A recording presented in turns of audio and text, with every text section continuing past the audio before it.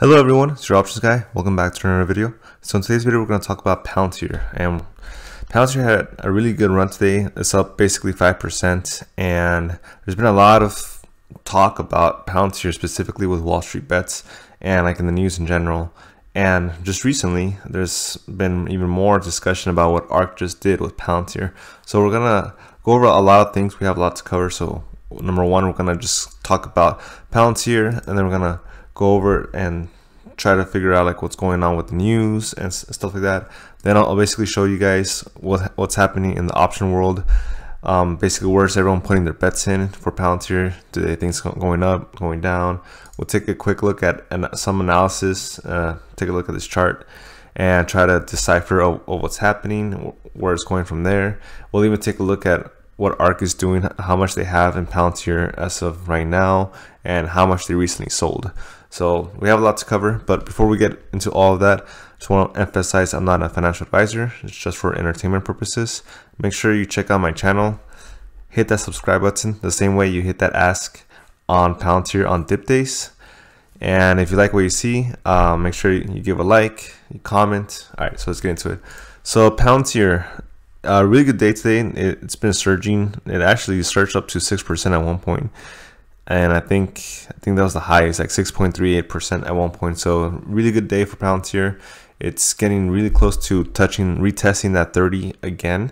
So let's take let's take a look at what's going on. So basically, based on this article, it says trading volume was nearing 34 million at publication time.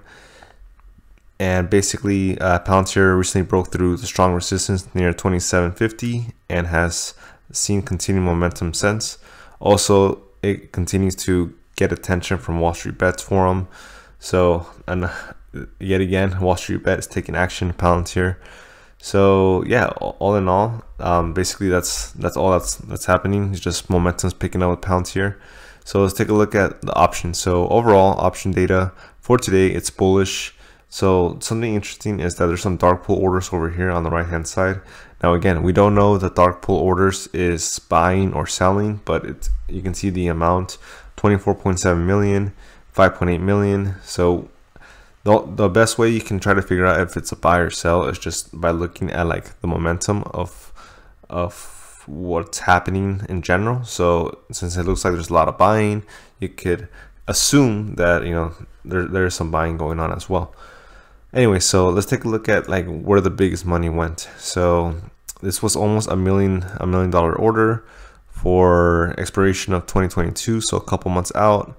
Strike 24, and then the second base one is almost half a million or 402,000. So this is oh dang, this is actually pretty big, and this is just expires tomorrow, and they're basically betting that it's gonna stay above 27. So they're probably already in the green but they did execute this kind of late in the day so they're probably expecting even more uh, momentum up or upside. So yeah pretty interesting on that one. So let's just take a look at the ones that are expiring tomorrow. All right so these couple right here are 924 and so far all bullish for tomorrow. So as you can see it's 27 28 are the strikes so still looking pretty bullish. Uh, some pretty big orders here and then right after that is the October ones the following week 30s are right here. So yeah overall it's looking pretty bullish. Um nothing to, nothing uh looks like it's above well there's a couple that looks like they're above 30 so there's not that many above 30 but overall it's in the high 20s so yeah overall bullish for today. So now let's take a look at the chart. So as you can see here I basically plotted this little cup and handle um, drawing like a long time ago. I think it was like a couple weeks ago, and I said like, "Oh, look, it's a cup and handle." You know, it might follow this direction, so it kind of followed that direction similarly. But as you can see here, basically we had a strong support at 21, and then we had a strong resistance around 27, and then we broke above that resistance. So now, basically, like the gap is between 27 and 30. So that's kind of like where it's where it's at right now. So if I zoom in a little bit, you can basically see that yeah, Palantir dipped a little bit. It kind of like retested that 27, but that was with the whole like market sell off and Ever Evergrande uh, FUD that that happened. Otherwise, it could have you know kept on going higher potentially.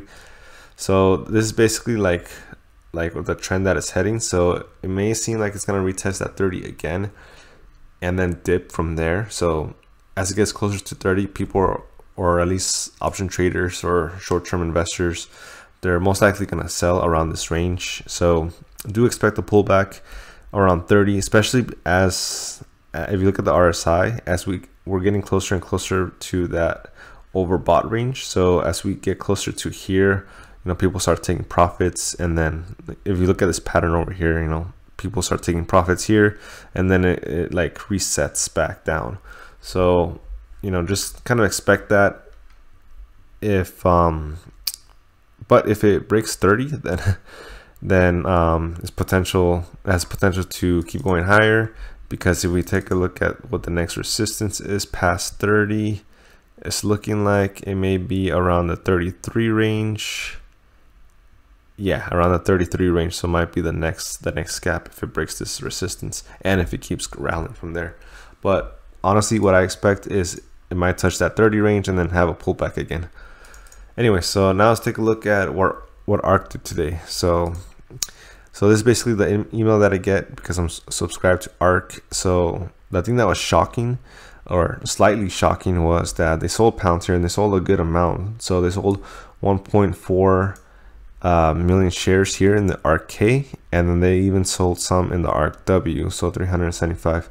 So uh, two things. So number one is they do tend to sell like every now and then. Um, they even sell Tesla and stuff. So they sell for like, you know, obviously two reasons. One would be like profit taking, or two would be for uh, restructuring their ETFs and stuff because you know at certain points if they want if they want to buy more like other stocks or or whatever they have to like sell some here and there so so you could take that into account or um, I think I don't think this is like something to be worried about that they sold almost like 2 million shares.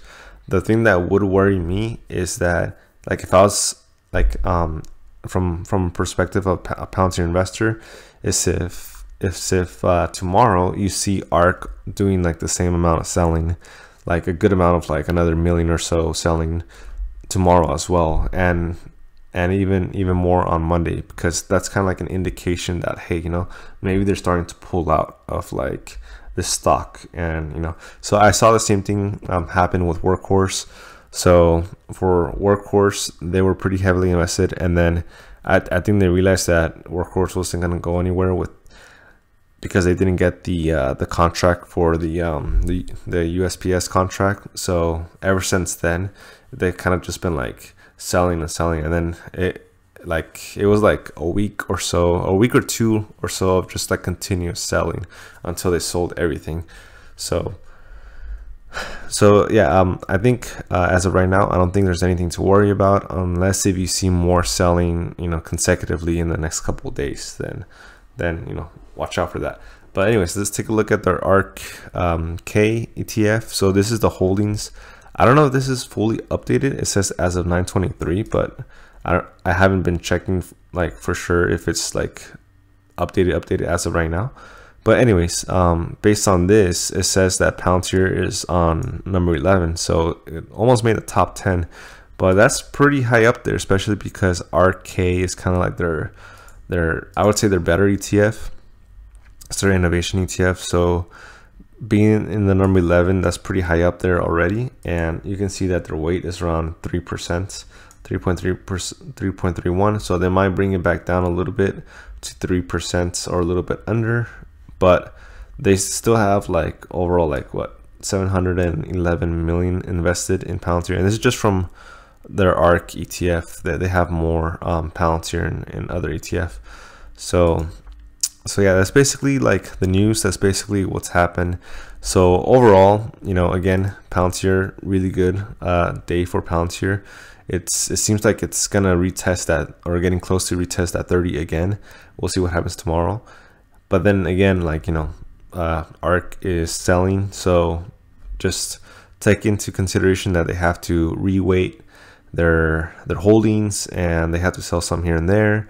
I wouldn't be too worried about it unless if you know you start seeing like consecutive selling and in, in big chunks then you know that's something you might want to look out for.